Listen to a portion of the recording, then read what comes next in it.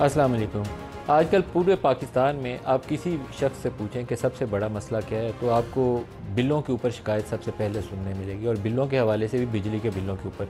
महँगाई हर शख्स को तंग करती है, लेकिन कुछ अरसे से बिलों ने सबका जीना मुहाल कर दिया, मुश्किल कर दिया। आमतौर पर आमदन में इतना इजाफा नहीं हुआ, जिन्हीं कीमतों के अंदर इजाफा अंदर इजाफा हुआ, या जो नर्ख हैं बिजली के और गैस के, वो जिस तेज़ रफ्तारी के साथ ऊपर गए हैं तो वहाँ एक सर्वाइवल एक चैलेंज बन गई है। इसका हल क्या है? उसके ऊपर आप हुकूमत से सुने तो वो कहते हैं कि आई जो हैं, उनको बहुत पेमेंट्स आ रही हैं।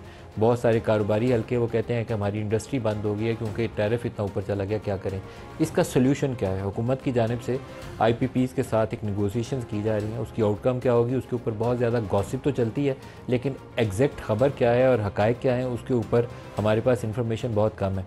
तो आज हमने जिस शख्सियत को दावत दिया प्रोग्राम के आमतौर पर इन्हीं की रिपोर्ट के मुख्तलिफ़ नंबर्स हैं कैपेसिटी पेमेंट्स के हवाले से, जो बार बार कोट होते हैं कि इतने सौ अरब उसको जा रहा है, इतने सौ अरब उसको जा रहा है।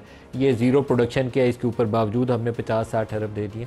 तो हमने आज उनको प्रोग्राम में खसूसी तौर पर मदू किया है। हमारे साथ मेहमान शख्सियत हैं मोहम्मद मुआवन खसूसी हैं वज़ी अजम के ऑन एनर्जी सेक्टर और आई पी पीज़ के लिए जो टास्क फोर्स है जो उनको रीनिगोशिएट कर रही है कि उनके टैरिस को कैसे नीचे लाया जाए या कैपेसिटी पेमेंट्स को कैसे काबिल बर्दाश्त बनाया जाए उस प्रोजेक्ट के भी इंचार्ज यही हैं। मोहम्मद अली साहब प्रोग्राम में खुश आमदीद कहते हैं आपको। पहले तो ये बता दें कि कैपेसिटी पेमेंट्स एग्जैक्ट हैं कितनी? कितनी हम आई को कैपेसिटी पेमेंट्स कर रहे हैं? साल की तमाम I P Ps including the government इक्कीस सौ अरब की कैपेसिटी पेमेंट्स जाती हैं। और उसमें से हुकूमत की कितनी है और प्राइवेट कितनी है?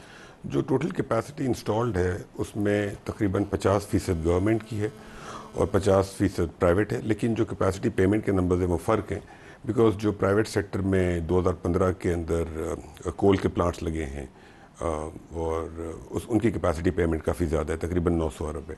तो जो 2100 अरब है उसके अंदर बिकॉज़ कोल के प्लांट्स का कंपोनेंट ज़्यादा है तो इसलिए परसेंटेज वाइज वो ज़्यादा है but in terms of capacity total megawatt रफली 50 50 है दोनों का। ये जो साहिवाल या सी पैक के नीचे हमने प्लांट्स लगाए हुए हैं तो लार्जेस्ट चंक जो है इन प्लांट्स का साहिवाल सबसे ज़्यादा खा रहा है। हाँ इनमें इनका ज़्यादा है उसकी एक वजह तो ये है कि ये बड़े प्लांट्स हैं सेकेंड वजह यह है कि उनका डेट अभी तक पे नहीं हुआ। बिकॉज़ डेट का जो टाइम पीरियड होता है दस साल का होता है वो अभी तक पे नहीं हुआ। तो इसलिए शुरू के दस साल कैपेसिटी पेमेंट बहुत ज़्यादा होती है। तो इक्कीस अरब तो बहुत ज़्यादा पैसे जी बहुत ज़्यादा पैसे और आप पर यूनिट कितना इस कैपेसिटी पेमेंट्स का चार्ज कर रहे हैं आज तकरीबन 110 बिलियन यूनिट पाकिस्तान में बिकते हैं साल के तो उन्नीस रुपये पर यूनिट कैपेसिटी पेमेंट है हमारे मुल्क में। उन्नीस रुपये जी उन्नीस रुपये देखें कैपेसिटी पेमेंट बढ़नी तो थी इसकी वजह यह है कि जब शुरू में हमारे यहाँ प्लांट्स लगे 90s में तो वो फर्नेस और गैस बेस्ड थे फिर हमने अपना एनर्जी मिक्स चेंज किया। हम मूव हुए टूवर्ड्स एलएनजी और फिर कोल तो चूँकि हमने एनर्जी मिक्स चेंज किया इन रिन्यूएबल ऑल्सो तो उसकी वजह से हमारी एनर्जी कॉस्ट कम हुई इन कैपेसिटी पेमेंट बढ़ी। लेकिन व्हाट हैपेंड वाज कि दो चीज़ें हुई। एक तो कैपेसिटी पेमेंट बहुत ज़्यादा बढ़ गई तो हमारी जो कॉस्ट ऑफ़ प्रोजेक्ट थी वो बहुत ज़्यादा थी ज़्यादा थी। सेकेंडली जो प्लांट्स लगे, उनकी डिमांड नहीं थी। वो बिजली बिकी नहीं। अगर आज भी सारी बिजली जो पाकिस्तान में बनती है, अगर वो बिक जाए तो automatically per unit capacity payment कम हो जाएगी। और जो बिजली नहीं बिकी, उसकी दो वजूहत थी। एक तो डिमांड हमारे इंक्रीज़ नहीं हुई तो हमारी प्लानिंग फ़ंक्शन वॉज़ फ्लॉड और सेकेंडली हमने ट्रांसमिशन नेटवर्क में इन्वेस्ट नहीं किया। तो ये हमारे जो इदारे हैं, उनकी बड़ी सीरियस इनकॉम्पिटेंस है कि अगर प्लांट्स लग रहे थे साउथ में सिंध की तरफ़, और वहाँ से अगर डिमांड हमें नॉर्थ में लानी है तो ट्रांसमिशन को साथ साथ लगना चाहिए था, जो कि नहीं लगी। तो इन दो वजूहत की बिना पर हमारे यहाँ कैपेसिटी बहुत ज़्यादा है पावर की, और बिकती नहीं है। इसलिए जो लोग बिल देते हैं, उनका पर यूनिट बिल बहुत ज़्यादा है। इंस्टॉल्ड कैपेसिटी कितनी है और कितनी बिकती है उसमें से? पैंतालीस हज़ार मेगावाट इंस्टॉल कैपेसिटी है लेकिन तकरीबन जो जनरेट हो सकती है after all the other plant के जो फैक्ट हैं प्लांट्स री ओवरहॉलिंग वगैरह और प्लस उनकी जो टोटल प्रोडक्शन uh, हो सकती है तो तकरीबन आप thirty eight thirty nine thousand total maximum production हो सकती है। और कितनी बिक रही है? समर में हमारे जो पीक होता है वो तकरीबन 26 से सत्ताईस हज़ार मेगावाट पर होता है और विंटर के अंदर हमारा 10 बारह हज़ार होता है बिकॉज़ विंटर में डिमांड कम हो जाती है एयर कंडीशनर नहीं चल रहे होते सर्दी की तो सर अगर पीक डिमांड भी ले लें कि आप सताईस हज़ार ले लें? तो अट्ठाईस भी कर लें आप। हम्म। तो आपने अट्ठतीस हज़ार की जो ऑपरेशनल अवेलेबल कैपेसिटी है आपके पास अट्ठतीस उनतालीस हज़ार मेगावाट तो आपने दस हज़ार मेगावाट इजाफी क्यों लगाई हुई है?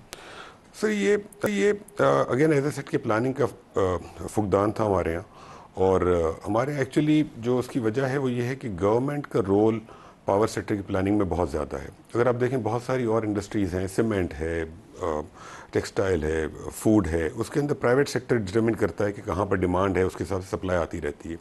हमारे यहाँ गवर्नमेंट जीडीपी ग्रोथ फोरकास्ट करती है और उस जीडीपी ग्रोथ के बेस पर पावर की सप्लाई फोरकास्ट हो जाती है और फिर वो प्लांट्स अप्रूव हो जाते हैं।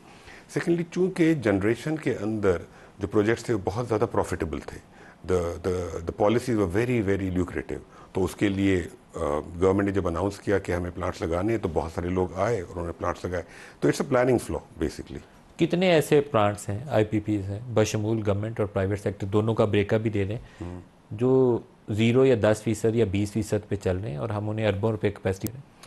उसका परसेंटेज देना मुश्किल होगा लेकिन just to give an example जैसे कि 94 के अंदर जो प्लांट्स लगे थे वो ज़्यादा वो सारे के सारे फर्नेस ऑयल और गैस पे लगे थे। अगर आज उनको हम चलाते हैं तो उनकी कैपेस उनकी एनर्जी कॉस्ट बहुत ज़्यादा होती है। बिकॉज़ कोल प्लांट सस्ते पड़ते हैं न्यूक्लियर सस्ता पड़ता है। तो उनका तो प्लांट फैक्टर बहुत कम है। सिमिलरली 2002 के अंदर भी गैस बेस्ड और फर्नेस ऑयल बेस्ड थे। कुछ प्लांट्स ऐसे हैं जो कि नेचुरल गैस पे चलते हैं या लो बीटीयू गैस पे चलते हैं। वो बहुत अच्छा चलते हैं बिकॉज़ उनकी कॉस्ट कम है। लेकिन जो बाकी हैं, जो एलएनजी पे चलेंगे या जो फर्नेस ऑयल पे चलेंगे, वो महँगे होंगे। तो बहुत सारे ऐसे प्लांट्स हैं जिनका कैपेसिटी फैक्टर किसी का ज़ीरो है फॉर एग्जांपल लेकिन ज़ीरो वाले कम है but five percent ten percent fifteen twenty twenty five बहुत ही कम चलने वाले बहुत सारे हैं। बट बट बिकॉज़ कॉन्ट्रैक्ट इस तरीके से हैं कि वो चलें या ना चलें, हमें पेमेंट करनी है तो कैपेसिटी पेमेंट फुल कैपेसिटी की जा रही है। वो कितने हैं जो ज़ीरो पे चल रहे हैं? ज़ीरो पे चलने वाले बिल्कुल ज़ीरो पे अगर आप कहें तो एक या दो होंगे। एक या दो। एक या दो हैं बल्कि हाँ। बिकॉज़ देखे ना कभी कभी समझ मुझे कोई वो रजाक दौद साहब के प्रोजेक्ट के नंबर्स भेज रहे थे शायद रोश का कोई पावर है कोई ज़ीरो पे बना रहा है और हम उसको ये चार फ़ीसद पे शायद तो और उसको हमने इतने अरब पेमेंट कर दी है। हाँ। कोई इस तरह के एक दो और प्रोजेक्ट्स के भी नंबर थे। हम्म। तो मुझे अच्छा लगा कि यार ये तो बैठ के उनसे बात करनी चाहिए कि आप ज़ीरो या चार फ़ीसद पे हैं और आपको इतने अरब हम दे रहे हैं तो ये गरीब भुखा मुल्क है इतने पैसे आपको नहीं दे सकता। फ्रेंकली। हम बात कर रहे हैं एंड टू बी ऑनेस्ट हमने 2020 में भी बात की थी। उस वक्त भी आई ने कोऑपरेट किया था। आ, इस बार फिर से बात कर रहे हैं और आ, जो आपकी रिपोर्ट थी 2020 वाली उसमें इनिशियली बड़ी हाई होप्स थी। प्रोजेक्शंस भी ऊपर थी कि इतनी हम रिडक्शन ले सकते हैं। बाद में मटेरियलाइज नहीं हुआ वो। तो होता ही है ना हमारे मुल्क में अनफॉर्चुनेटली कि जब काम शुरू होता है तो बहुत ही पैशन के साथ शुरू होता है और बहुत ही हाइप होती है। और फिर बहुत जल्दी हम वो स्टीम लूज़ कर जाते हैं। बहुत सारी चीज़ें होती हैं। एक तो लोगों का फोकस चेंज हो जाता है। सेकेंडली इस तरीके की लॉबीज़ होती हैं कि वो काम कंप्लीट भी नहीं हो पाता। तो ये काम तो उस वक्त तक मुकम्मल नहीं हो सकते जब तक कि गवर्नमेंट या इंस्टीट्यूशंस इसके पीछे ना पड़े।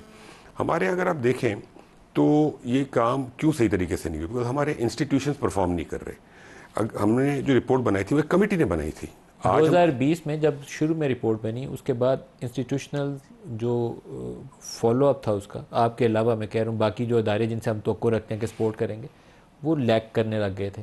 उसकी क्या कोई खास वजह थी? मेरे ख्याल में वहाँ से फॉलो अप था टू बी ऑनेस्ट मेरे ख्याल में गवर्नमेंट की साइड से फॉलो अप नहीं था। क्योंकि कुछ ऐसे इंटरेस्ट ग्रुप से मुझे लगता है कि वो जो खुद नदीम बाबर के प्रोजेक्ट्स थे तो नदीम बाबर तो नहीं चाहेगा ना कि उसकी आप काट दें बिजली या उसका हाँ। रेट कम कर दें। हाँ उस वक्त मेरा ख्याल है कि जो गवर्नमेंट के बहुत सारे फंक्शनरीज थे even ministry it ministry of power itself हमारे जो ब्यूरोसी थी इवन जो पॉलिटिकल लीडरशिप थी, उनकी तरफ़ से नहीं था बाइन और वो सपोर्ट नहीं कर रहे थे। निगोसिएशन के अंदर हम लोगों को बैठना पड़ा, हमें उस लेवल का बाइन नहीं मिला उस वक्त।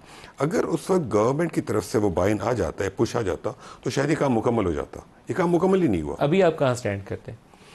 मेरे बार एम वेरी होपफुल आप आई को दोबारा से इंगेज कर रहे हैं उनसे कायल कर रहे हैं कि रेट कम कर दो ये हम अफोर्ड नहीं कर सकते इंडस्ट्री भी बैठ जाएगी पाकिस्तान की इकानमी भी बैठ जाएगी और आप ही हैंडल कर रहे हैं। जी। तो आप समझा लेंगे उनको ये बात?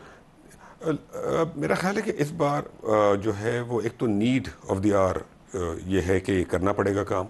सेकेंडली पाकिस्तान चल नहीं सकता इस तरीके से। एज ए वो सेइंग अर्लियर कि लास्ट टाइम भी आई ने कोऑपरेट किया था और जो मुझे लग रहा है इस बार भी आई पी कोऑपरेट करेंगे। हमारी थोड़ी सी मीटिंग शुरू हुई हैं and we have seen cooperative attitude क्योंकि वो खुद भी समझते हैं और जिन बिज़नेस ग्रुप्स के आई हैं, उनके और बहुत सारे बिजनेसेस भी हैं। तो अगर यहाँ पे पाकिस्तान का एनर्जी सेक्टर सही होता है तो उनके और बिजनेसेस में उनको बहुत फ़ायदा होगा because obviously they are the largest businessman in the country तो वो जो है मुझे इस वक्त वो बाइन नज़र आ रहा है। सेकेंडली मुझे इंस्टीट्यूशन से गवर्नमेंट से, हर तरफ़ से वो एक बाइन नज़र आ रहा है। लेकिन खाली आई पी पी सही आई हमें सही करने पड़ेंगे बिकॉज़ इनकी जो कैपेसिटी पेमेंट है, वो बहुत ज़्यादा है। लेकिन साथ साथ हमें इस मुल्क में टेक और पे कॉन्ट्रैक्ट से निकलना पड़ेगा। ये जो प्रॉब्लम हुआ है इसलिए हुआ है कि पाकिस्तान में हमने नाइन्टीज़ में रिफॉर्म शुरू की और हम कंप्लीट नहीं करते। तो हमने तो हमने गवर्नमेंट को सिंगल बायर रखा है इस मुल्क के अंदर। अब इस एक तरफ़ आईपीपीज हैं या पावर जनरेटर्स हैं और एक तरफ़ कंज्यूमर है चाहे इंडस्ट्री हो चाहे डोमेस्टिक यूज़र हो और बीच में गवर्नमेंट खड़ी हुई है सरकार। सरकार is in the business of buying from them and selling to them सरकार has to come out let the market decide दुनिया में नाइन, लेट नाइन्टीज़ में आज से कुछ तीस साल पहले पावर मार्केट्स साउथ अमेरिका जैसे मुल्कों के अंदर बनना शुरू हो गई थी।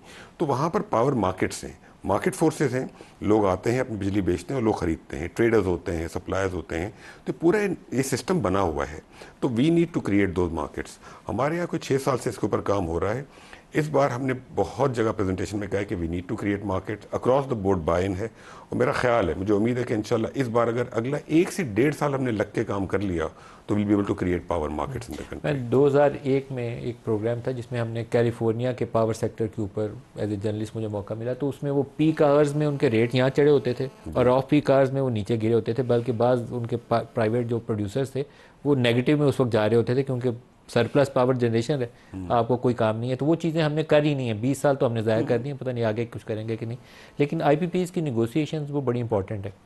आप मियाँ मंशा है उसके दस कारोबार हैं उसके पावर प्रोजेक्ट्स में है दाऊद ग्रुप है उसके पावर प्रोजेक्ट्स में है दस और कारोबार में आप उनको ऑफ़र क्या कर रहे हैं? क्या चीज़ टेबल पे ऑप्शंस क्या है उनके लिए? देखिए कुछ प्लांट्स ऐसे हैं कि जिनकी बिल्कुल जैसे कि ज़रूरत नहीं है तो उनको तो टर्मिनेट कर देना बेहतर है। लाइक नाम मैं अभी नहीं लेना चाहूँगा लेकिन कुछ प्लांट्स ऐसे हैं कि जो हाउ मेनी कितनी तादाद कितनी है? फाइव प्लांट्स ऐसे हैं और हमने टर्मिनेट कर टर्मिनेट बिकॉज़ एनटीडीसी से हमने पूछा और एनटीडीसी का व्यू ये है कि कुछ प्लांट्स ऐसे हैं तकरीबन पाँच प्लांट्स के जिनकी ज़रूरत पड़ेगी ही नहीं आने वाले वक्तों में। तो उनको तो सिस्टम में रखने का फ़ायदा नहीं है। तो उनके साथ हम उनके कॉन्ट्रैक्ट टर्मिनेशन की बात कर रहे हैं। उसके अंदर ऑब्वियसली उसके बहुत सारे टर्म्स एंड कंडीशन हैं जो कि डिस्कस हो रहे हैं और वो इनशाला अगले हफ़्ते के अंदर मेरा ख्याल है कि अगले थोड़े दिनों में इनशाला वो डिसीज़न हो जाएँगे हफ़्ते दस दिनों में वो पाँच वाला तो काम आप कर लेंगे। इनशाला वो हो जाएगा। और दूसरा इसके बाद जो बाकी बहुत सारे ऐसे हैं कि जिनको हम टेक और पे से चेंज करके टेक एंड पे पे लेके जाना चाहते हैं। क्योंकि उनका भी डिस्पैच फैक्टर बहुत कम है। तो हम उनसे ये निगोशिएट कर रहे करेंगे कि जो बिजली वो बेचेंगे, हम उसकी पेमेंट करेंगे। वो कितने प्रोजेक्ट्स हैं? वो तकरीबन 2002 और 94 की पॉलिसी में जो सेट हुए उस पर सत्रह प्रोजेक्ट्स हैं। अच्छा। उसमें से बारह ऐसे हैं कि जिनका डिस्पैच फैक्टर बहुत कम है पाँच ऐसे इनके डिस्पैच फैक्टर ज़्यादा है वो अच्छा चलते हैं। है। उनके साथ हम निगोशिएट करेंगे कि उन्हें हम टेक और टेक एंड पे पे ले जाएँगे जितनी बिजली लेंगे उसके हिसाब से पेमेंट करेंगे। लेकिन इसमें से कुछ प्लांट्स ऐसे होंगे जिनको अलाइव रखने के लिए एक सर्टन मिनिमम अमाउंट में देनी पड़ेगी वरना फिर नुकसान होगा उनको। तो हम एक्चुअल बेस पर कैलकुलेट करके we will keep them alive but the idea है इसके अगले दो सालों में जब पावर मार्केट बन जाए तो सारे के सारे पावर मार्केट में चले जाएँ और गवर्नमेंट की ज़िम्मेदारी ख़त्म हो जाए। जिनको आप टर्मिनेट करना चाहते हैं पाँच उनका क्या अभी डेट सर्विसिंग वाला कंपोनेंट आउटस्टैंडिंग है या वो क्लियर हो चुका है? 94 और 2002 के तमाम प्लांट्स का डेट सर्विसिंग पेड है। शायद एक दो का 2002 के शायद एक दो का बाकी होगा। वो भी आई डोंट नहीं इन सबका पेड ऑफ़ है। तो फिर तो वो अपनी लाइफ गुजार चुके हैं तो आपको आसान होना चाहिए काम मैनेजेबल होना चाहिए। आसान तो नहीं होगा मैनेजेबल होना चाहिए। हाँ एक्चुअली एक आर्गूमेंट ये होता है कि मुल्कों को बार बार रीनिगोसिएशन नहीं करनी चाहिए और ये बड़ा वैलिड आर्गूमेंट आइडियल सिचुएशन नहीं होनी चाहिए। लेकिन इसलिए नहीं करना चाहिए कि देखें हम अभी और हमें एसेट बेचने हैं आगे जाके इंफ्रास्ट्रक्चर प्रोजेक्ट करने होते हैं पब्लिक प्राइवेट पार्टनरशिप होती है।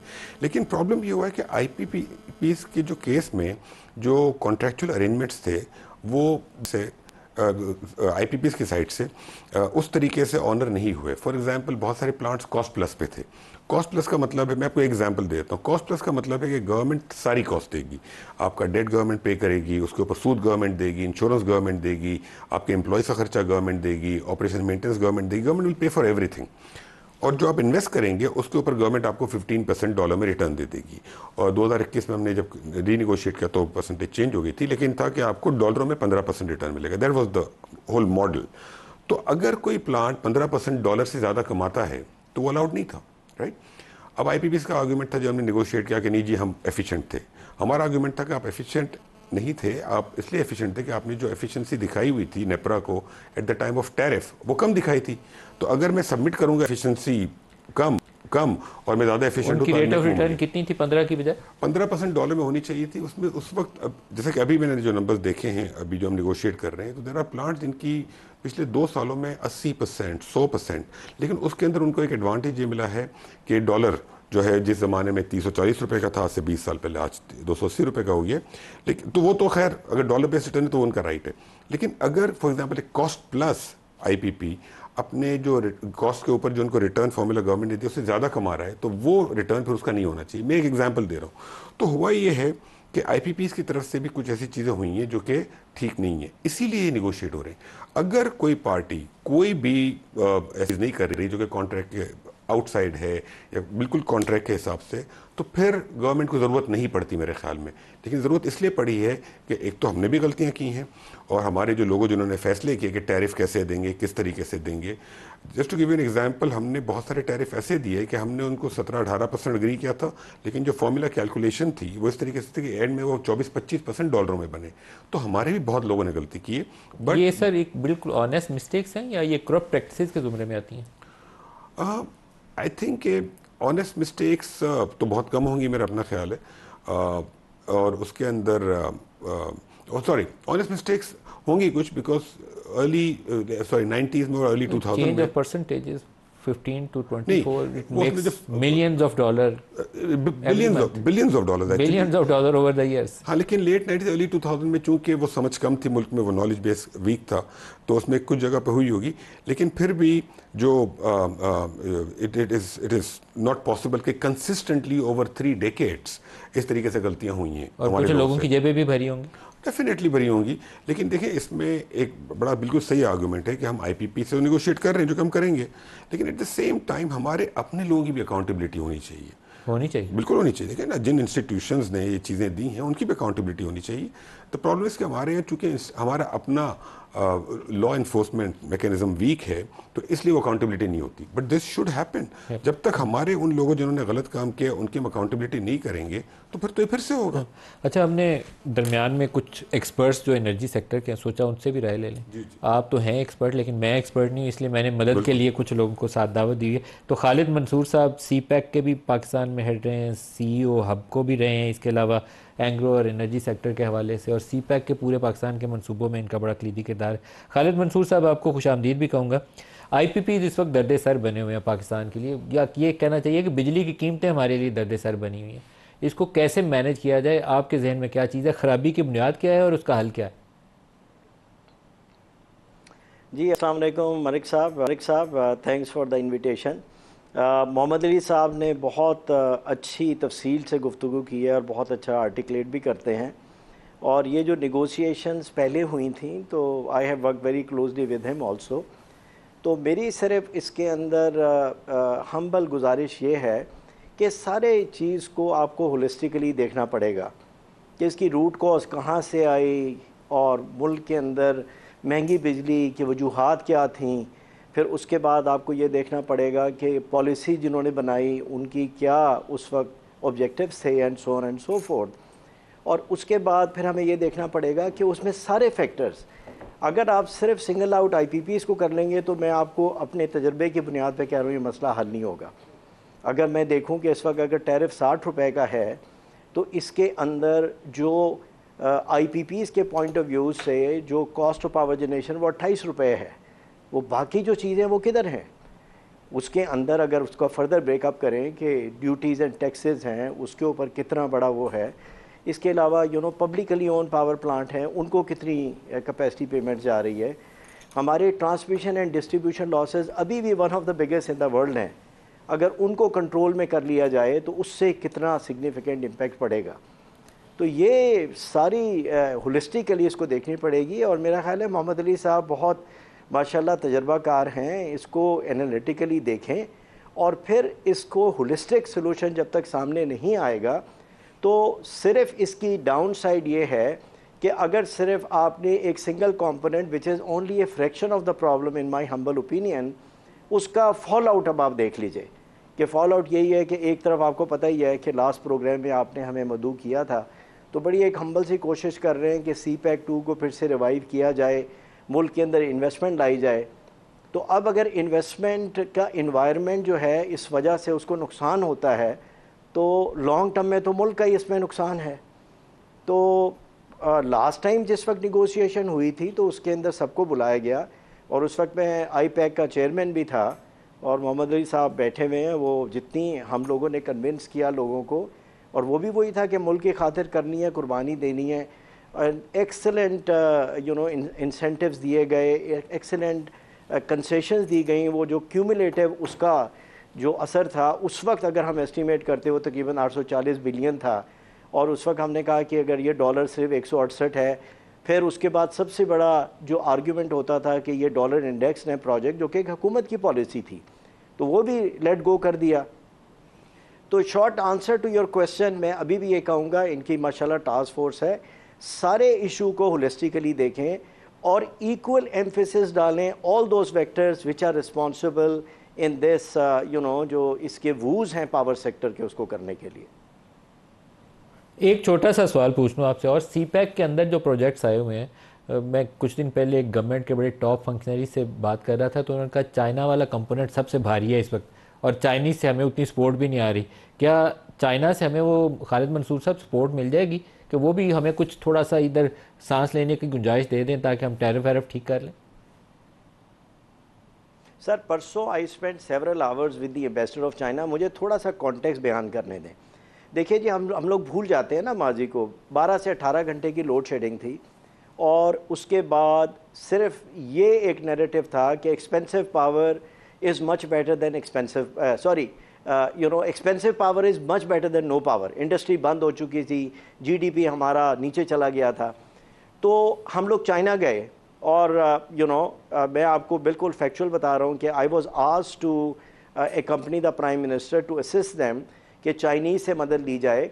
और सबसे बड़ा मसला ये था कि हम लोगों की जो पावर जनरेशन थी अठतीस फ़ीसद that was based on furnace oil and that too on the imported fuel जिसकी वजह से हमारी कॉस्ट ऑफ़ पावर जनरेशन बहुत ज़्यादा थी we were not comparative in the international export market जब हम चाइना गए हैं तो हमारा नेरेटिव क्या था कि जी, हमने पावर क्राइसिस को ख़त्म करना है, आप हमारी मदद करें। हमारे पास इंडिजिनस फ्यूल है थर की शक्ल में, जो कि सत्तर साल से हम डेवलप नहीं कर सके, और दुनिया में सबने इनकार कर दिया कि जी, वो फाइनेंसिंग नहीं दे सकते।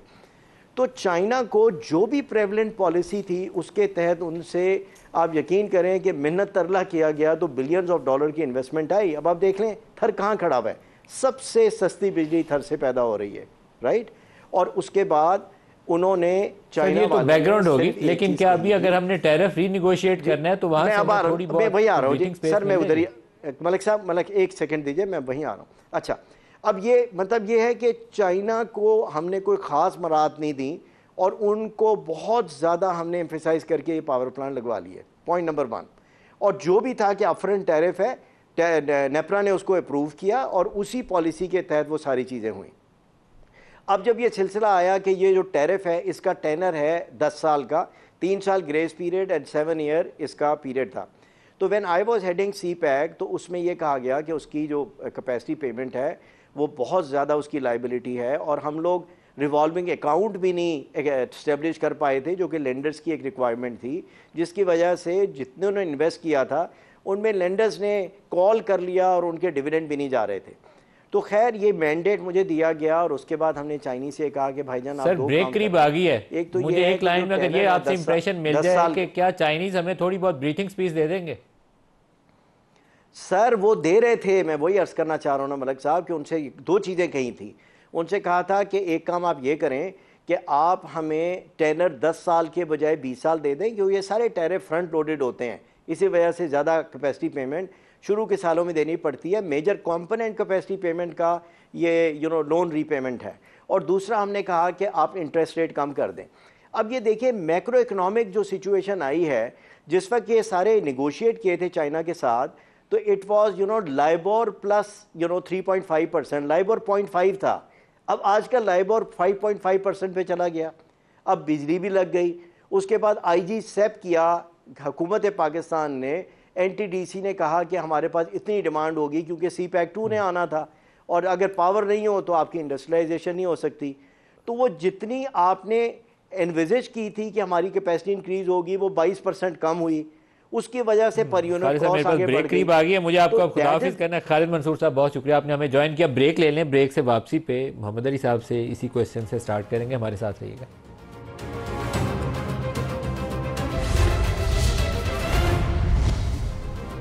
वेलकम बैक मोहम्मद अली साहब हमारे साथ हैं और आईपीपीज़ के साथ हम नया माहदा और क्या कंसेशन हासिल कर सकते हैं उसके ऊपर इनसे बात कर रहे हैं। मोहम्मद अली साहब जो अभी खालिद मंसूर साहब ने तजिया पेश किया और तजावीज़ दी पहले तो उसके ऊपर अपना कमेंट कर दें। वो बिल्कुल सही बात कर रहे हैं और मैंने भी थोड़ा सा शुरू में बताया था कि हमें होलिस्टिकली चीज़ों को देखना पड़ेगा। I P P is one part of the whole equation for example हमने ट्रांसमिशन की बात की कि हमने प्लांट्स लगा लिए बट ट्रांसमिशन कैपेसिटी नहीं थी तो इसकी ज़िम्मेदारी हमारे इदारे एन टी डी सी की है। तो हमें एन टी डी सी को सही करना पड़ेगा। और frankly N T D C मेरा नहीं ख्याल कि गवर्नमेंट के पास अगर रहेगा तो सही हो सकता है। गवर्नमेंट के बस की बात नहीं है। ये इस टाइप की एन को प्राइवेटाइज करना चाहिए। एन को मेरा ख्याल प्राइवेटाइज करना चाहिए और हमें सोचना चाहिए कि एन को अगर हम ब्रेक कर दें। I give an example Europe के अंदर बहुत सारे ममालिक हैं। सबका अपना अपना ट्रांसमिशन नेटवर्क है and they are all connected to each to each other बहुत छोटे छोटे मुल्क हैं। कोई मुल्क पचास लाख लोगों का होगा, कोई शायद दो करोड़ लोगों का होगा। But they all have small transmission networks तो हमारे यहाँ भी हो सकता है कि we have smaller transmission networks not too many but a few तो इतना बड़ा इदारा उसका बाय ढूंढना मुश्किल होगा और थोड़ा सा नेशनल सिक्योरिटी रिस्क भी हो सकता है बहुत लोगों को कंसर्न होगा तो you can break it and then privatise it secondly N के अंदर जो ट्रांसमिशन लाइनें अभी लगानी हैं चूँकि उनके पास कैपिटल नहीं है तो पब्लिक प्राइवेट पार्टनरशिप होने जाना पड़ेगा। लेकिन बॉटम लाइन ये कि you have to privatise it और डिस्कोस डिस्कोस देखिए मेरा अपना पर्सनल व्यू ये है कि डिस्कोस और हमने इसमें केटेगर गवर्नमेंट में जब मैं था तो मैंने काफ़ी कहा था कि इसको हम लॉन्ग टर्म कंसेशन पर हम दें लेकिन करंट गवर्नमेंट ने फैसला किया प्राइवेटाइज करें which is okay which is fine but discoms के अंदर भी हमें सोचना चाहिए कि हम क्या इन डिस्कोस को एज इट इज़ प्राइवेटाइज करना चाहते हैं, हम ब्रेक करके प्राइवेटाइज करना चाहते हैं। बिकॉज़ हमारी जब पावर मार्केट्स आ जाएँगी तो डिस्कोस का काम सिर्फ़ वायर बिज़नेस होगा। They will only be transmitting जब पावर मार्केट्स बन जाती हैं तो buying and selling of electricity जो है वो प्राइवेट सेक्टर करता है। तो डिस्कोज भी डेफिनेटली या तो लॉन्ग टर्म कंसेशन या प्राइवेटाइजेशन के थ्रू हमें इनसे भी जान छुड़ानी चाहिए। Government should not be in these businesses because once we have power markets and DISCOs and transmission हमारे पास अगर नहीं होंगी तो फिर पूरी जो प्लानिंग फ़ंक्शन होगा वो ऑटोमेटिकली मार्केट फोर्सेज करेंगे। अभी खालिद साहब उसका तस्करा भी कर रहे थे आपसे भी चाहूँगा उस पर बात करें। अभी जो आपको बिजली का बिल आता है तो उसमें एक हिस्सा होता है आपने इतने यूनिट इस्तेमाल किए और ये उसका निर्ख है। उसके आगे एक छः कॉलम्स की और लंबी फहरिस्त होती है ये tax B tax C tax D tax वो इतने सारे टैक्सीज आप हमारे खून को निचोड़ के ले रहे हैं। उसका भी तो कुछ करें। देखिए, उसकी वजह तो पावर सेक्टर नहीं है टू बी ऑनेस्ट उसकी वजह तो है कि हमारे मुल्क में टैक्सेशन सिस्टम ठीक नहीं है और टैक्स कलेक्शन ठीक नहीं है. डायरेक्ट टैक्सेस का परसेंटेज बहुत कम है. बट हैविंग सेट दिस इस चीज़ को हम देख रहे हैं टास्क फोर्स को देख रही है और इसके ऊपर हम काम कर रहे हैं. ऑब्वियसली इसके अंदर आई एम एफ़ की टैक्स रेवेन्यू इफ़ेक्ट ना हो फेडरल गवर्नमेंट का. लेकिन इसके ऊपर हम काफ़ी काम कर रहे हैं मिनिस्टर रहे हैं. मिनिस्ट्री भी बहुत काम कर रही है इसके ऊपर और इन इसको हम कोई ना कोई इसका हल निकालेंगे कि टैक्सेशन का इम्पैक्ट जो है ना पावर बिल में, वो रीजनेबल हो, अभी बहुत ज़्यादा एक्सेसिव है। Just to give an example total जो पावर सेक्टर है तकरीबन तीन हज़ार अरब का, उस, साढ़े तीन हज़ार अरब का, उसके अंदर तकरीबन बीस फ़ीसद जो है वो टैक्स का इम्पैक्ट है, सात सौ अरब का। तो ये कम होने चाहिए तो कंज्यूमर को रिलीफ मिलेगा। प्राइम मिनिस्टर भी चाह रहे हैं कि कम हो कैबिनेट वांट्स इट तो इंशाल्लाह इसके ऊपर आई थिंक कोई ना कोई मूवमेंट होगी। एटलीस्ट वो लोग जो टैक्स पेयर्स हैं उनका वो जो विद होल्डिंग टैक्स टाइप चीज़ें आप लोग काटते हैं वो बहुत ही अनफेयर है। वो तो अपने टैक्स लाइबिलिटी डिस्चार्ज कर चुका है तो उसके बिलों के ऊपर जो विद होल्डिंग टैक्स कटता है उसको रिफंड नहीं मिलता। वो कट गया तो कट गया बस। हम्म। तो एटलीस्ट जो टैक्स पेयर है एक्टिव टैक्स पेयर है और उसकी सैलरी से या उसकी सोर्स ऑफ़ इनकम से वो जो टैक्स कट चुका है तो दोबारा उसके ऊपर विद होल्डिंग तो आज नहीं होनी चाहिए। हाँ बेसिकली आई थिंक ये इंडायरेक्ट टैक्स का फॉर्म जो है एक ऑटोमेटेड सिस्टम होना चाहिए जिसका वो उसको एडजस्टमेंट मिलती रहे। हाँ और टैक्स पेयर हो या ना हो I think I personally think कि इसका ये इंडायरेक्ट टैक्स है जो कि गरीब आदमी को भी हर्ट करता है और अमीर आदमी को भी हर्ट करता है और ये नहीं होना चाहिए। ये कम होना होगा अच्छा, तो सही बट कम हम ब्रेक से पहले थे कि आपने फाइव टर्मिनेट करने हैं प्रोजेक्ट्स जिनकी आपको ख्याल में ये है कि मुस्तकबिल में ज़रूरत नहीं रहेगी। ये फाइव टर्मिनेशन अगर आप सक्सेसफुली कंप्लीट कर ले कर लेते हैं तो इससे हमें कितनी सेविंग्स होंगी कौमी ख़जाने में? अच्छा ये बड़ा अच्छा सवाल है और मैं इसमें थोड़ा सा एक बात ऐड कर दूँ।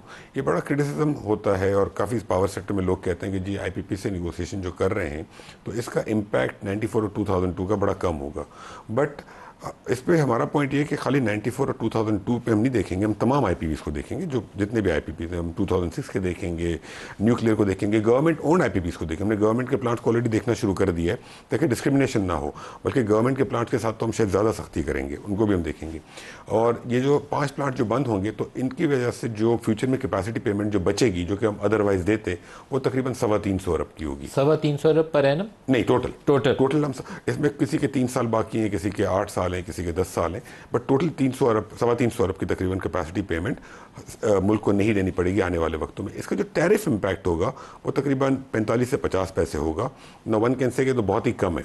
बट पैंतालीस से पचास पैसे भी जो है वो साल का पचास अरब बनता है। और इसी तरीके ये तो अभी शुरुआत है ना? अभी तो हमने काम शुरू किया और आपने बारह ऐसे प्रोजेक्ट्स बताए जिनको आप टेक एंड पे पे ले जाना चाहते हैं। सत्रह को ले जाएँगे। नाइन्टी फोर और टू थाउज़ेंड के जो बाकी सत्रह हैं जो बचते हैं उन सबको हम टेक एंड पे पे और वो टेक एंड पे पे जाते हैं तो उसकी आपको कितनी सेविंग वो भी हम काम कर रहे हैं। बिकॉज़ हमने जो स्टार्ट किया है हमने टर्मिनेशन वालों से शुरू किया है। अगले दो हफ्तों में इनशाला हमारे टेक एंड पे का एनालिसिस पूरा हो जाएगा and then we will do 2006 government तो we doing it step by step government वाला इशू जो है वो बड़ा टेढ़ा है।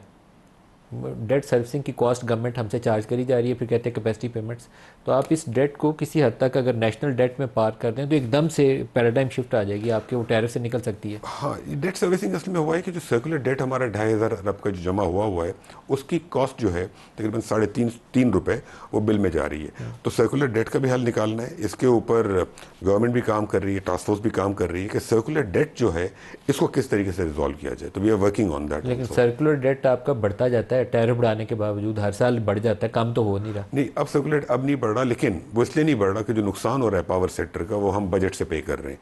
तो वो बढ़ना रुक गया है लेकिन जो जमा हुआ हुआ है ढाई हज़ार अरब उसके ऊपर तो हम सूद दे रहे हैं। तो उसका भी हल निकालना पड़ेगा। तो उस... जब तक नहीं निकालेंगे तो तब तक साढ़े तीन रुपये फ़ी यूनिट हमसे आप लिए जाएँगे। जी जी बिल्कुल। वेरी गुड अच्छा हमारे साथ आरिफ हम हबीब साहब हल, निकाल लेंगे इंशाल्लाह होपफुली I इंशाल्लाह आरिफ हबीब साहब हमारे साथ शामिल हो रहे हैं। आरिफ हबीब साहब बहुत शुक्रिया। पावर सेक्टर ने इस वक्त कारोबारी तबके को बहुत परेशान किया हुआ है। हर घर ही परेशान है लेकिन कारोबारी भी परेशान है। वो कई तो फैक्ट्रियों के मालकान जो है टेक्सटाइल सेक्टर में वो कहते हैं हमारी फैक्ट्रियाँ बंद हो गई इतना टैरिफ आप ऊपर ले गए तो आरिफ साहब मसला टेढ़ा है लेकिन हल की तरफ़ अभी जाते हुए भी हल समझ नहीं आ रहा। हल क्या होना चाहिए आई थिंक हल तो सबसे बड़ा ये है कि हम कंजप्शन को बढ़ाएँ। जब कंजप्शन अगर बढ़ेगी तो ये टैरिफ जो है जब हम ये देखते हैं कि सारी हमारे पास जो कैपेसिटी है और जितनी हमारे पास ट्रांसमिशन है अवेलेबल उसको अगर पूरा यूज़ होना शुरू हो जाए तो आई थिंक ये सब्सटेंशियल डिक्लाइन आ जाएगा। ये फिर ये नहीं होगा कि इतने पैसे और रुपया डेढ़ रुपया वो बहुत बड़ा फ, फ, जो है उससे फ़र्क आएगा। देखिए, ये जब ज़ाहिर जब ये पॉलिसीज़ बनी 2017-18 में तो हमारी इकोनॉमी की ग्रोथ अच्छी चल रही थी और उसमें जो है, वो लोगों की प्रोजेक्शंस जो थी, सिर्फ़ इसी में नहीं पावर में, बल्कि हम तो सीमेंट में हैं स्टील में हैं, और उसमें भी हमारी जो प्रोजेक्शंस हैं, वो सब रॉन्ग चली गई, क्योंकि सीमेंट में, नदीम साहब, ये मैं बताऊँ आपको कि आज से आठ साल पहले जो कंजप्शन था पाकिस्तान में, आज उतना ही कंजप्शन है। और स्टील में तो और गज़ब हो गया कि जो उस वक्त चौदह लाख टन की कैपेसिटी थी, हम एक्सपेक्ट कर रहे थे कि आज वो पच्चीस लाख टन जो है कंजप्शन होगा, वो चौदह की जगह सात लाख हो गया।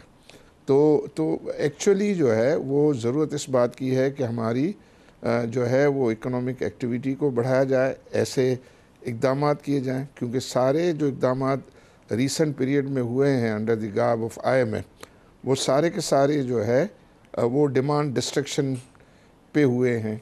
और फिर ये है कि जो हुकूमतों ने सक्सेसिव गवर्नमेंट्स ने जो है वो टाइमली किए फिर एक साथ आईएमएफ का प्रेशर पड़ा तो सारे का सारा जो बैक लोग है एक साथ किया तो उससे बहुत ज़्यादा बहुत ज़्यादा इन्फ्लेशन जो है वो आ गया। मैं ये समझता हूँ कि ये एक है एक आई थिंक वो बात जो अ, कर रहे हैं कि हमारी रीप्रोफाइलिंग ऑफ़ डेट का जो है उसमें भी आई थिंक एक अच्छा खासा जो है वो मैं समझता हूँ कि जो है वो सेविंग आनी है।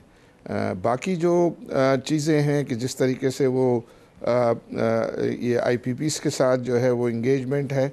आई के साथ आई थिंक मिनिस्टर साहब ने आज कल भी जो है वो स्टेटमेंट दिया था कि ये जो है वो विद विद म्यूचुअल जो है वो कंसल्टेशन ये ये होगा।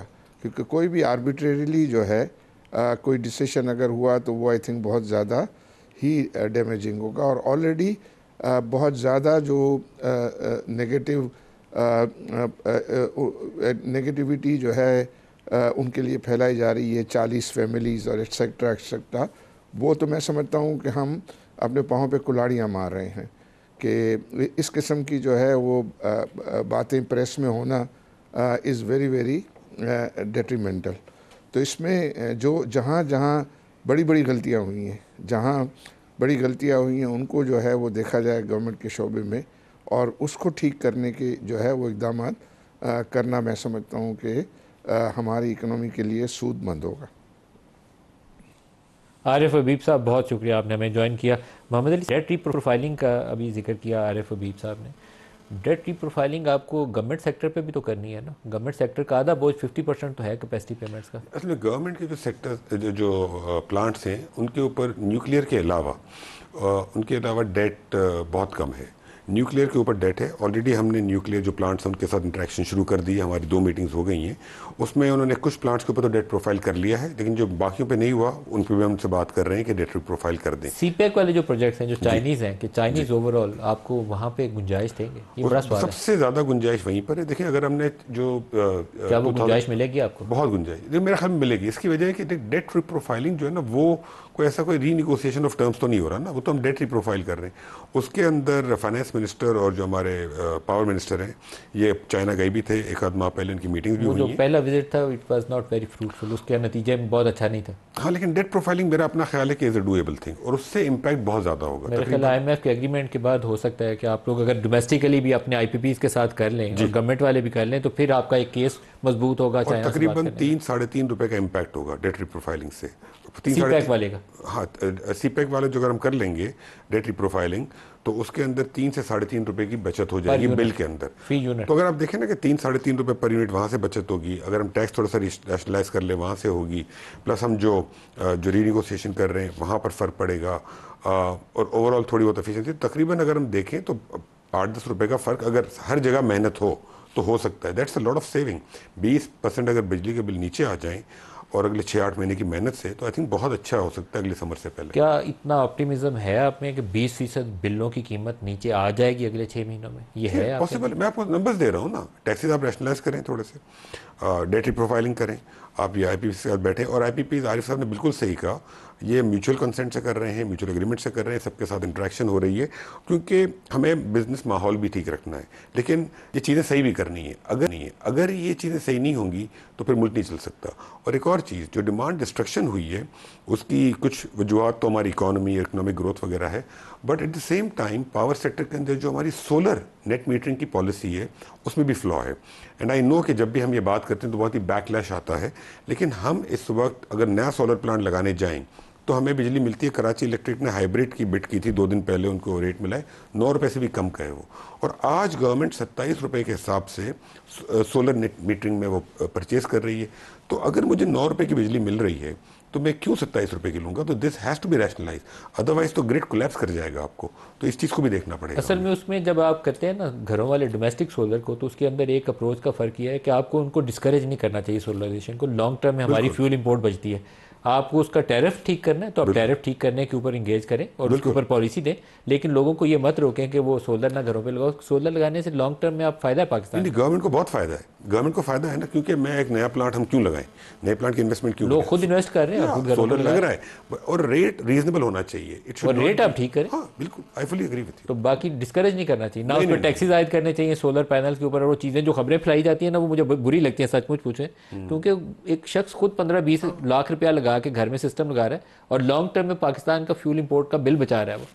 तो आपको उसको रोकना नहीं चाहिए। टैरिफ वैरिफ की आप बात नहीं, नहीं वो तो ह्यूमन राइट है ना बेसिकली हम क्यों रोकेंगे किसी को? वो तो बिल्कुल नहीं होना चाहिए एग्री लेकिन टैरिफ भी रीजनेबल होना चाहिए। जो एक बैकलैश आता है ना कुछ लॉबीज से इट्स नॉट फेयर और इन ताला इसके ऊपर हम काम करेंगे because it is in the country's interest जो इंसान अगर सोलर लगाता है सत्ताईस रुपये की बिजली दे रहा है और फिर जो आदमी नहीं अफोर्ड कर सकता उसका बिल ज़्यादा बढ़ जाता है। तो it has to be rationalise that's all अच्छा अभी एक आरिफ साहब ने भी बात की और खालिद साहब ने भी चाइनीज़ प्रोजेक्ट्स के ऊपर कि हमने उनको कोई एक्स्ट्रा ऑर्डनरी फेवर्स नहीं थी दी। हम तो फंसे हुए थे यहाँ अंधेरे थे तो हमने बिजली लगवाई। अब हमने तजर्बा किया कारके वाला वो हमारे गले पड़ गया। हमने तजर्बा किया रेकुडिक वाला वो हमारे गले पड़ गया इंटरनेशनल कोर्ट से हमारे ऊपर वाटर वाटर आ गए। हम इस तरह की चीज़ों में बहुत सक्सेसफुल नहीं रहे माजी में। अपनी जग सही हुई ना लेट नाइन्टीज़ में भी मुझे याद है कि पी एम एल एन की गवर्नमेंट ने आई पी पी के एग्रीमेंट वो पीपल्स पार्टी के किए हुए हम बोला था कि हम इनको रीओपन कर रहे हैं। वो हमारे गले पड़ गए थे। हमने लोगों को उठा उठा के वो सदन पावर वाला था उसका हमने वो बेटा उठा के जेल में डाल दिया था। कि बिजली की कीमत इसे ठीक करवानी है। तो that process is also not acceptable जी देखिए कारके में तो हम सक्सेसफुल हो गए थे बिकॉज़ कारके में ऐसी चीज़ें मिल गई थी। वो तो मेहरबानी थी उनकी वो ब्रिगेडियर रामे थे कि कौन थे वो जो डॉक्यूमेंट्स वगैरह निकाल लाए थे नहीं तो पहले तो गले पड़ गया था जी जी उसमें जो पूरी टीम थी उन्होंने वो किया था बट दे फाउंड आप उसका हिस्सा नहीं मैं उसका हिस्सा नहीं अच्छा। मैं उसमें था। तो उन्होंने अच्छा काम किया था बट यू राइट कि बाकी अगर हम यूनिलेटरली कर लेते हैं लेकिन हमारे पास कोई मवाद होना चाहिए ना। एज ए सेट कि अगर मैंने आपको कॉस्ट प्लस की तो एक एग्ज़ाम्पल दी है मैंने आपको। इसके अलावा ऐसी बहुत सारी चीज़ें तो आई की तरफ़ से भी कंडक्ट को हंड्रेड परसेंट सही नहीं रहा। लेकिन having set this I think हमारा ऑब्जेक्टिव बड़ा क्लियर होना चाहिए। हमारा ऑब्जेक्टिव लोगों को तंग करना लोगों को हर्ट करना पाकिस्तानी बिज़नेस को हर्ट करना नहीं है। हैरेसमेंट नहीं होनी चाहिए। बिल्कुल। एक प्रोफेशनल निगोशिएशन ऑब्जेक्टिव बड़ा क्लियर होना चाहिए। What is the objective the objective इसके पावर सेक्टर ठीक हो और ये बिजनेसमैन जो है पाकिस्तान यही इन्वेस्ट करेंगे ना। एफडीआई तो हम बड़े अरसे से कोशिश कर रहे हैं कितनी आई तो we have to keep them कल को आपको डिस्कोज बेचने हैं पीआई की बात चल रही है तो यही लोग खरीदेंगे। तो purpose is not to hurt any but power sector ठीक हो। And then everybody has to cooperate ये जो एक थिंकिंग है ना ये मैंने 2020 में भी हम से ये थिंकिंग कि मेरा कोई नुकसान ना हो, जबकि मैं 10 गुना 20 गुना पैसे कमा चुका हूँ। मैंने ठीक ठाक पैसे कमा लिए, अब मैं कुछ भी सेक्रीफाइस करने को तैयार नहीं हूँ। और मैं कहूँ कि चीज़ें भी ठीक हो जाए, ये पॉसिबल नहीं है। Somebody will have to sacrifice a little bit जिन लोगों ने दस दस गुना 15 15 गुना पैसे कमा लिए हैं पिछले दस बीस सालों में उन्हें थोड़ा सा सेक्रीफाइस करना पड़ेगा। और मेरा अपना ये ख्याल है what I am seeing is कि IPPs are coming forward they are willing to negotiate they will sacrifice and they are cooperating अच्छा इसमें आप कह रहे हैं ये बड़ी इंपॉर्टेंट न्यूज़ है कि 20 फ़ीसद के करीब रिडक्शन हो सकती है। टैरिफ्स में अगले छः माह में अगर ये सक्सेसफुली हम इम्प्लीमेंट कर लें बहुत अच्छी खबर होगी। अगर इंशाल्लाह हम इसको कामयाबी से कर लें। लेकिन ओवरऑल अगर एनर्जी सेक्टर में देखूँ, हमने कतर के साथ वो एलएनजी की परचेज़ का एग्रीमेंट किया, जो मुझे लगता था शायद खान ने एक अच्छी डील की है। आजकल हमसे वो कार्गो भी इस्तेमाल नहीं किए जा रहे, वो भी हमारे गले पड़े हुए हैं। वो ऑयल मार्केट दरमियान में बिल्कुल, दरमियान में बिल्कुल क्रैश करके ज़मीन पर गिर गई थी। सारे कहते थे, करो इसको बाय बाय कर लो हैजिंग कर लो। हम वो कर नहीं सकते कैपेसिटी नहीं है। कोई कहता है नैप पकड़ लेगी कल को, कोई कुछ कहता है। हमें इस पर कैपेसिटी बिल्डिंग करनी पड़ेगी, नहीं तो पाकिस्तान का हाल कोई नहीं है। आपने अभी ये जो पावर सेक्टर की कहानी सुनाई है दस हज़ार मेगावाट कैपेसिटी लगी हुई है उसका बाहर कोई नहीं है। तो हमें कुछ चीज़ों पे कैपेसिटी बिल्डिंग करनी पड़ेगी। देखिए उस वक्त जब ये प्लांट ये निगोशिएट हुए थे कॉन्ट्रेक्ट आर एल के तो उस वक्त वो बिल्कुल मेरे ख्याल में ठीक हुए थे। उस वक्त पाकिस्तान को एल की आर एल की ज़रूरत थी। एक्चुअली व्हाट हैपन्स इस पाकिस्तान में होता ही है कि हम एक क्राइसिस के बाद दूसरे क्राइसिस में जाते रहते हैं। हमने ये सोचना होगा कि क्राइसिस बार बार क्यों आते हैं? अगर हमने उसी तरीके से अपना कंडक्ट रखना है और कोई चीज़ चेंज नहीं करनी है तो आज से पाँच साल बाद यहाँ पर फिर कुछ और हो रहा होगा। हम यही बातें कर रहे होंगे। तो क्राइसिस से निकलने का तरीका तो यह है ना कि आप कोई तब्दीली तो लाएँ इन द सेंस कि आप अपने लोगों को सही करें या प्रोसेस सही करें। वही लोग आज से दस साल पहले भी नेपरा में मिनिस्ट्री में लोग बैठे थे फैसले कर रहे थे। आज भी फिर बैठे हैं, आज से दस साल बाद भी होंगे। तो क्या जो लोग फैसले कर रहे हैं, जो हमने बिठाए हुए हैं लोग अक्रॉस द इंस्टीट्यूशन चाहे नेपरा हो और कोई इंस्टीट्यूशन हो, क्या वो सही हैं? सेकेंडली जिस तरीके से फैसले हो रहे हैं, क्या वो सही हैं? ये सारे फैसले, जो choices and the decision that we have made we are paying a price for that today just to answer जो आप कह रहे हैं एलएनजी की बात पाकिस्तान में विंटर में लोड शेडिंग होती है। गैस नहीं है मुल्क में। गैस के बायर्स हैं। इंडस्ट्री गैस मांगती है। इंडस्ट्री आर के रेट पर गैस लेने को तैयार है। हम उसे गैस दे नहीं सकते और उससे हम कहते हैं कि हमारे पास आरएलएनजी हम अपने लोकल गैस को इस्तेमाल नहीं कर रहे it's a prob it's it's it's an operation management planning flaw स्वीज हमने अपने हाथ में रखी है। हाईली इनफिशियंट है। क्यों हमने रखा हुआ है? क्यों हमने अनबंडल नहीं किया सर्कुलर डेट कितना हो गया? पेट्रोलियम सेक्टर का आज होगा तकरीबन तीन हज़ार अरब प्रिंसिपल माशाल्लाह। Including gas oil and gas oil and gas oil and gas वो बढ़ना शुरू कम हो गया बिकॉज़ हमने लास्ट ईयर जो प्राइसेस बढ़ाई थी उसके बाद बढ़ना फिर तो मोहम्मद अली साहब अब छाए हुए हैं। ढाई हज़ार अरब आपने बिजली का रखा हुआ है तीन हज़ार अरब आपने पेट्रोलियम का रखा हुआ है तो फिर तो ये साढ़े पाँच हज़ार अरब हो मैं तो मैं तो नया नया हूँ अभी अब अमीर आदमी है साढ़े पाँच हज़ार का। कहते हैं वो सरताज अज़ीज़ साहब कहा करते थे कि वो किसी को सौ रुपया देना हो ना तो उस शख्स को नींद नहीं आती तो किसी का साढ़े पाँच हज़ार अरब देना हो तो लेने वाले को नींद नहीं अच्छा आती। मैं आपको बताऊँ इस साढ़े पाँच हज़ार अरब का सोल्यूशन भी कोई इतना मुश्किल नहीं है। देखिए प्रॉब्लम क्या हो गया पाकिस्तान में? आ, हम वो काम करते हैं जो हमारे कॉम्पिटेंस लेवल से मैच करते हैं। जो काम हमारे कॉम्पिटेंस लेवल से थोड़ा सा भी अगर ऊपर है ना उसको हम छेड़ते ही नहीं हैं। इन चीज़ों को हम हाथ ही नहीं लगा रहे। हमें सर्कुलर डेट का मैटर उठाना चाहिए और इसके लिए कोई लॉन्ग टर्म इंस्ट्रूमेंट इशू करके इस मसले को भी निपटाना चाहिए जो कि वी कैन डू आप ये बताइए कि कोई लोगों के लिए जाते जाते आखिरी मिनट है कोई खुशखबरी देंगे कि हमारी इन कोशिशों से उनकी ज़िंदगी में आसानी आएगी अगले हमारी? इन कोशिशों से ज़िंदगी में आसानी आएगी। इंशाल्लाह मैं बताऊँ task force ministry everyone government cabinet everyone is working very hard power जो है इस वक्त is at the top of the agenda people want कि पावर का रेट नीचे आए। प्राइम मिनिस्टर जिस तरीके से मीटिंग्स कर रहे हैं जिसे कैबिनेट देख रही है हमारी मिनिस्ट्री काम कर रही है टास्क फोर्स कर रही है I think across the board एक एफर्ट हो रही है।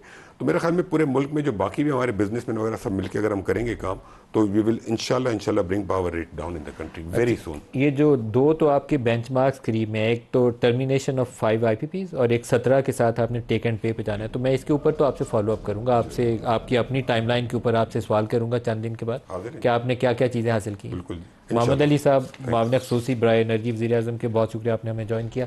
आज के प्रोग्राम से इतना इजाज़त दीजिए अल्लाह हाफिज़।